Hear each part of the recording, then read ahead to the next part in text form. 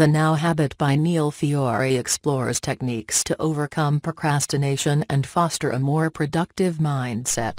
The core idea revolves around addressing the underlying psychological reasons for procrastination rather than simply treating its symptoms. Fiore advocates for understanding the root causes of procrastination, which often stem from issues like fear of failure, perfectionism, and low self-esteem. One of the central concepts is the distinction between work and guilt-free play. Fiore suggests scheduling guilt-free play in intervals, allowing individuals to work without the pressure of an impending deadline, thereby reducing the tendency to procrastinate. He emphasizes taking control of one's time and creating a positive relationship with work, fostering a sense of autonomy and self-direction. Fiore also introduces the idea of unschedule, a planning tool that encourages individuals to schedule recreational and rejuvenating activities first, effectively carving out time for personal well-being and then fitting work around those commitments. This approach aims to reshape one's perspective on time and work, reducing the anxiety and pressure associated with tasks. Additionally, the book delves into the importance of overcoming the try-harder mentality and instead encourages fostering a mindset of persistence without self-criticism. Fiore suggests embracing small, manageable steps and focusing on progress rather than perfection, which can help alleviate the stress and anxiety often associated with starting and completing tasks. In interpreting Fiore's message, it's evident that he aims to address the psychological barriers that lead to procrastination, advocating for a fundamental shift in mindset and habits. He promotes the idea that by understanding the psychological roots of procrastination and implementing practical strategies, individuals can break free from the cycle of avoidance and increase productivity. Fiore's approach isn't solely about time management but rather about managing one's emotional and psychological relationship with work. By prioritizing self-care, play, and understanding the reasons behind procrastination, the book presents a holistic method for fostering a healthier, more productive approach to work and life.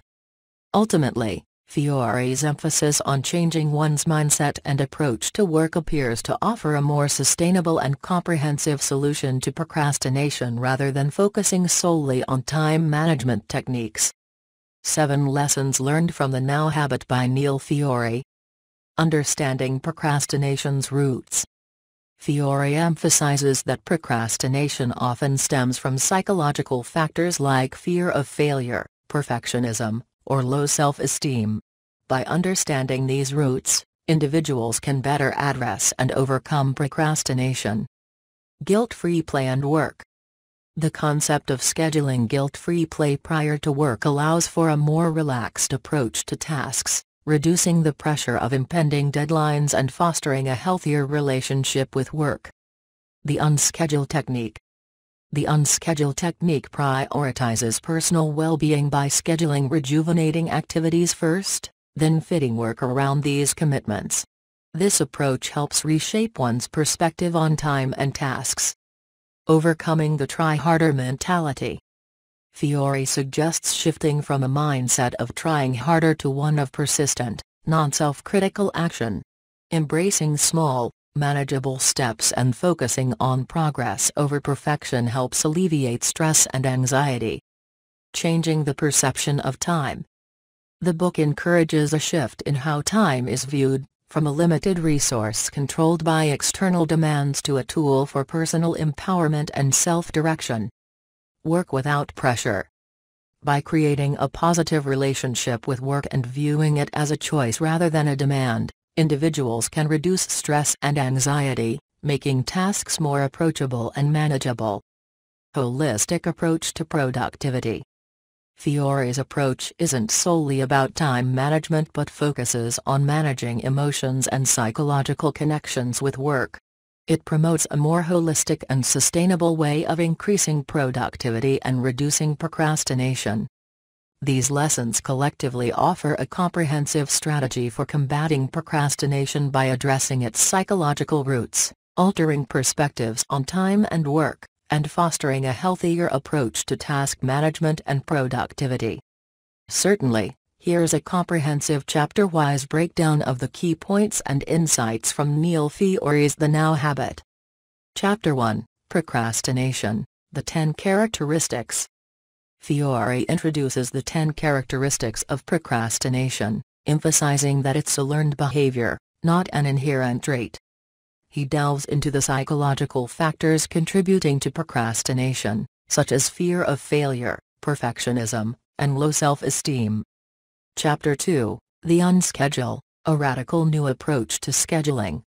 Introducing the unschedule, Fiore explains how to prioritize guilt-free play, which counteracts the traditional scheduling methods and diminishes the pressure associated with work.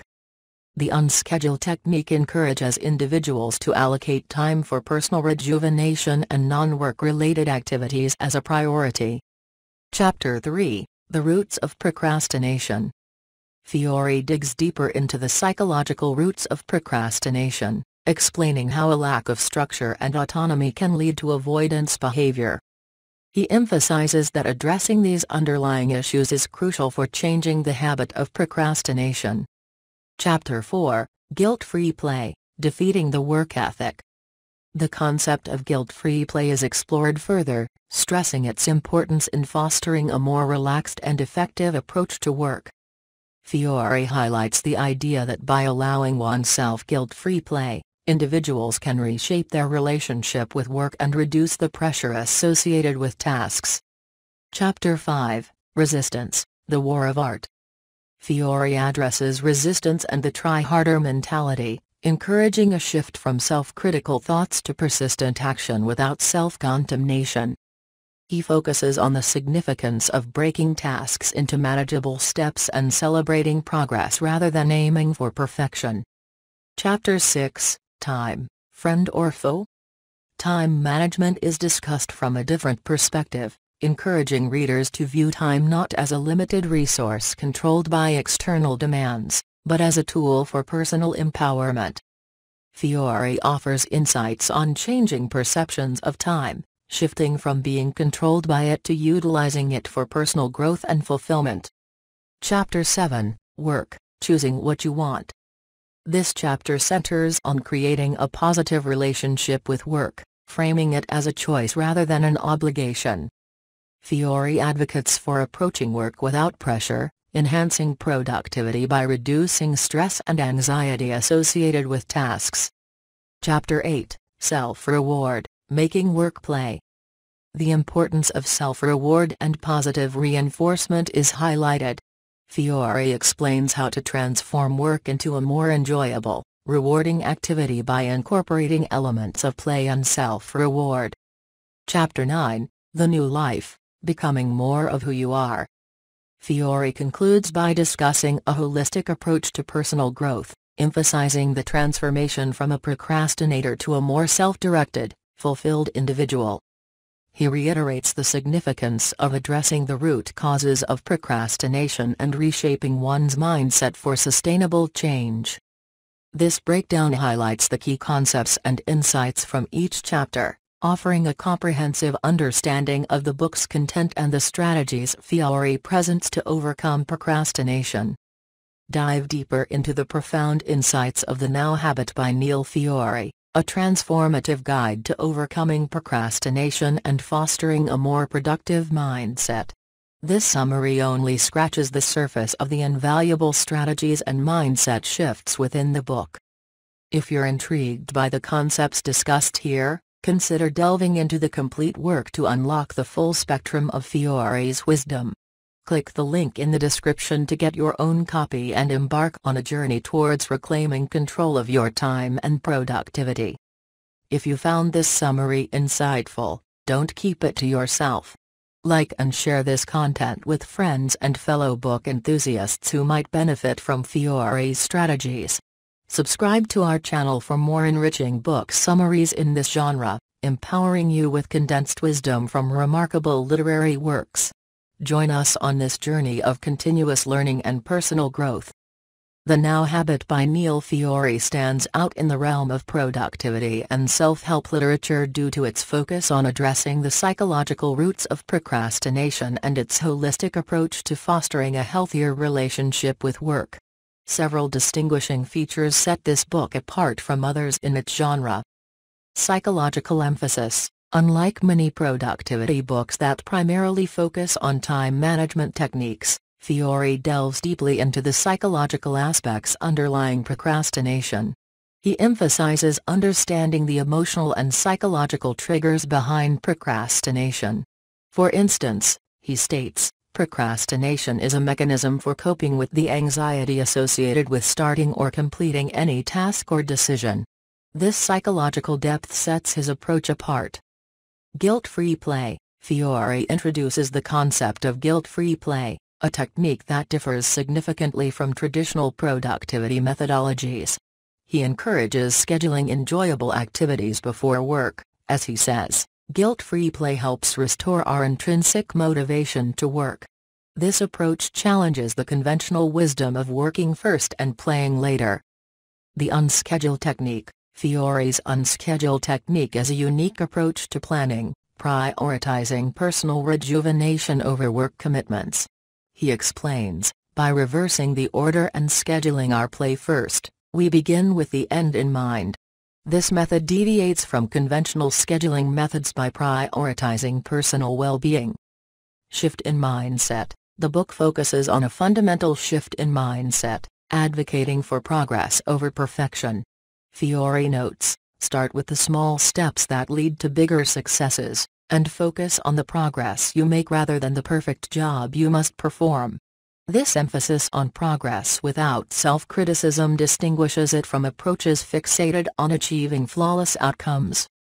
Empowerment and Autonomy Fiore advocates for a sense of empowerment and autonomy over one's time and work.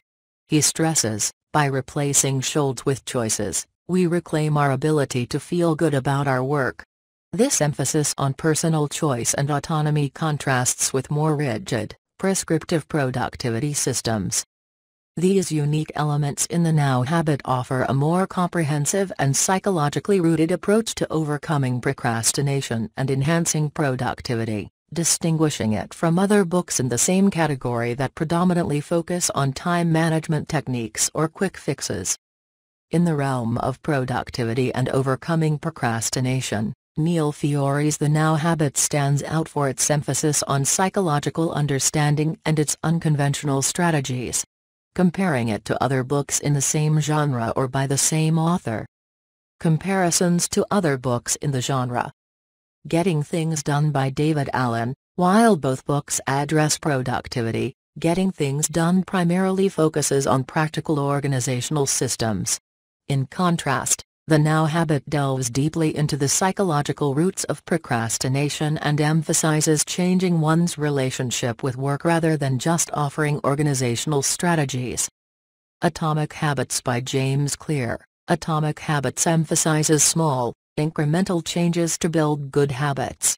Fiore's book, on the other hand, focuses more on the psychological aspects of procrastination and changing the mindset towards work rather than habit formation. Comparison to other books by Neil Fiore Awaken Your Strongest Self Fiore's book Awaken Your Strongest Self touches on similar themes of self-improvement but focuses on broader personal development rather than specifically addressing procrastination.